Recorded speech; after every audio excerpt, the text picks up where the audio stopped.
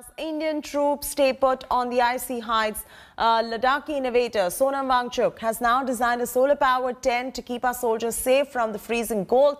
India Today's Gaurav Sawant, who just joined us live, is getting us a first-hand account of the green tent that maintains a plus 15 degrees temperature inside without using any external heating source except sunlight, even when the mercury dips to minus 15 degrees Celsius.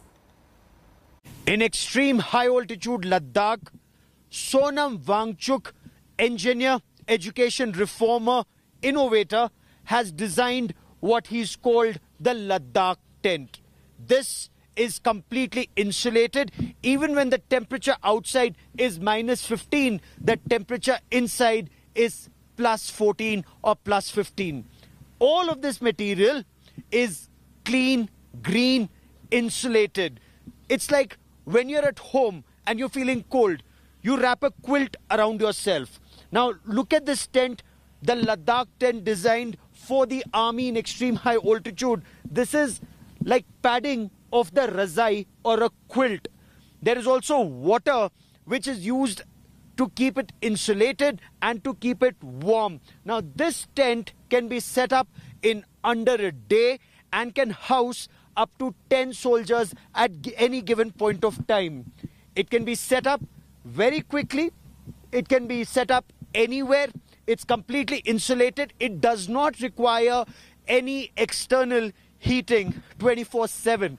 It takes its heat from the sun through the day and then keeps the interiors warm through the night for up to 12 to 14 hours, if not more. This, of course, is a prototype work is still going on on this project. It has aluminium.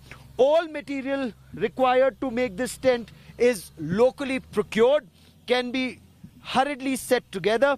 It has a an entry and an exit door, uh, and you can stay warm inside. Like I said, it also does not require any external heating source. It does not require electricity, except, of course, when you need light at night inside this Ladakh tent.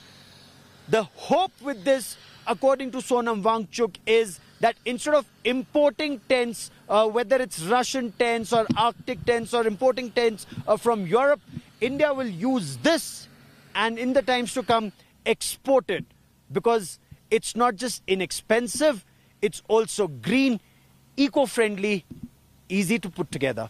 With cameraman Kripal Singh, in Leh, Gaurav Sawant for India Today.